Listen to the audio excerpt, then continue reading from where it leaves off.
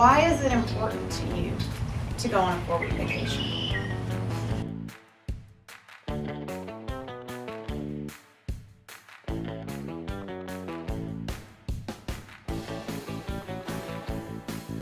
A trailblazer is a person who goes first and blazes the trail. And when that person goes first to blaze that trail, they think they know what they're getting into, but they really have no idea. And things don't ever go as planned, and it's always harder than we envision it. And so tonight, we're going to honor some trailblazers amongst us. I'm gonna write that book. Oh. This is my vision board book. it's an empty book. But it needs some pages in it. Needs to be filled.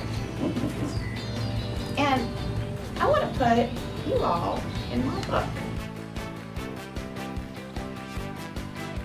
Hi, my name is Steve Bousquet. I own American Landscape Lawn Science. So I typically take uh, July off every year anyways. Uh, I usually take seven to nine weeks vacation. The reason why is I, I don't have a huge why. I just take it off because I can and uh, build my business so I can do it. If I'm if I'm actually around in July, my, my people are asking me, you know, why are you still here? Can you please leave? So I don't have a huge why uh, unless, other than because I, I can do it. And what I really want to do is I want to capture the reality of what goes on in a business from the moment you commit to a four-week vacation to the time you make it happen. And I want to share your stories of how you do that.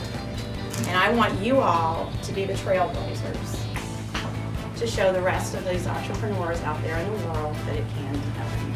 So my name is Rodrigo Ladaga and I'm going to take a eight week vacations on summer of 2019 with my family. I want to uh, walk the talk because we teach small business to have this, this independent of the business and I want to show them that it's possible and I want to also uh, show to my kids that when you are uh, do things right and you have a successful business you can do things. I'm Donna Lyons, and I am committing to taking a four-week vacation from my business in December of 2018 because I actually intended to do that this year.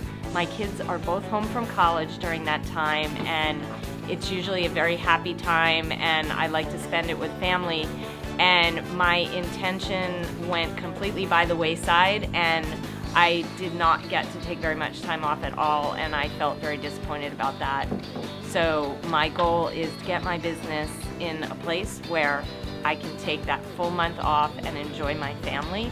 And also, I want to be able to spend time on the things that are really important to me and my business.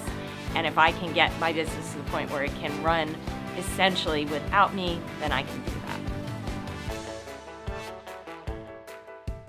that. So tonight we have six trailblazers among us that we will honor.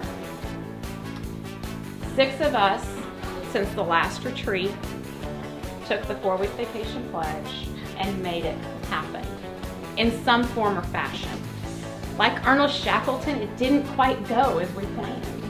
Some illness fell, changed plans. Some preparations weren't quite fully in place. And some things just kind of fell apart midway. But the journey was still made. Our first trailblazer is not here with us tonight. The first one to take the four-week vacation is Chuck. Hi, Chuck Parmalee. My wife for taking a, a four-week vacation is that I've spent the last 40 years living and breathing overhead door. And the longest time that I've taken off from that at one time is five days out of those 40 years. I deserve this, I want this, and I'm ready for it. Dr. Nancy.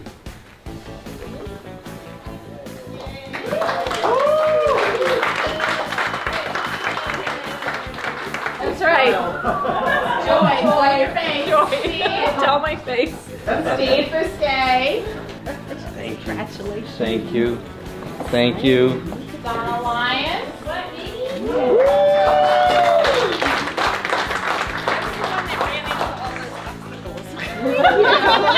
no, Ernest. Oh, hold out.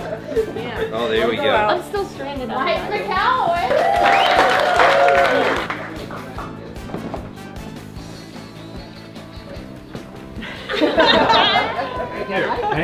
Congratulations, Mike. Thank you. And yours truly. Yeah.